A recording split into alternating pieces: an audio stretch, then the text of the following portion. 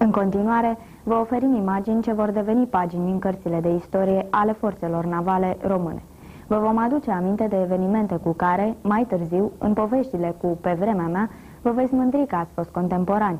Imaginați-vă cum veți povesti nepoților dumneavoastră că, odată, domeniul marinăriei era accesibil numai bărbaților. Acum nu mai este, nu e așa? Fete în forțele navale, interesant, nu e așa? Problema a fost pe larg dezbătută de opinia publică și de personalul din Ministerul Apărării Naționale în general și din forțele navale în special.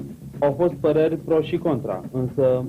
Implicațiile se vor vedea peste trei ani, când la bordul navelor vor fi și mai militari femei și care uh, vor schimba, într-un fel, uh, anumite uh, probleme la bordul uh, navelor forțelor navale. Viața în școala militară de mașina marinei nu s-a schimbat foarte mult.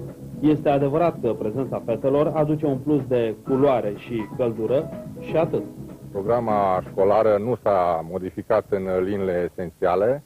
Am uh, introdus unele îmbunătățiri la nivelul programelor analitice, uh, funcție de noile cerințe care stau în fața învățământului de marină, ținând cont de etapa pe care o parcurgem.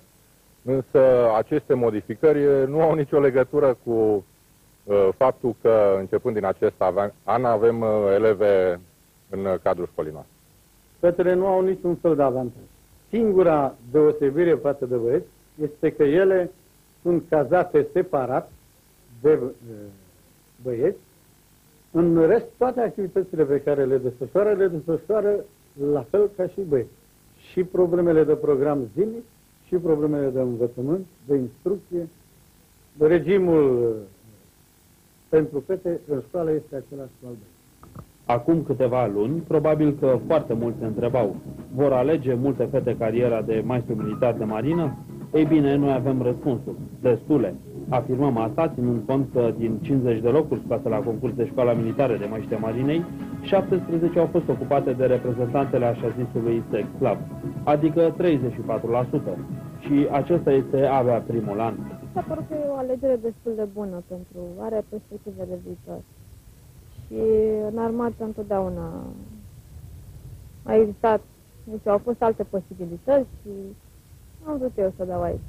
Suntem convinși că fetele care și-au propus să devină maestri militari de marină vor face o figură frumoasă, pentru că sunt ambițioase, tenace și pentru că vor să dovedească tuturor că sunt cel puțin la fel de bune ca băieții. La Facultatea de Marină Militară, examenul de admitere a fost unul extrem de dificil. Mulți candidați, puțini admiși, iar printre aceștia, spre deosebire de celelalte instituții de învățământ militar, o singură reprezentantă a sexului frumos. Pentru prima și deocamdată unica studentă a Facultății de Marină Militară, această situație nu reprezintă un impediment, ba din potrivă, ea a devenit mai puternică, mai orgolioasă, mai sigură de aspirațiile ei. Sunt o fire ambițioasă, sunt mândră să mă numesc uh, deschizătoarea de drum în cadrul acestei instituții prestigioase și uh, pe viitor aștept și alte colege